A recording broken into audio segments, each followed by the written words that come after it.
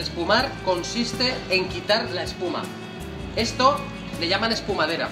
Cuando la espuma es muy densa y gruesa, se puede desespumar con una espumadera, de ahí viene el nombre. Pero cuando la espuma es muy clarita, como en este caso, lo mejor es utilizar un cacillo para desespumar de la siguiente manera.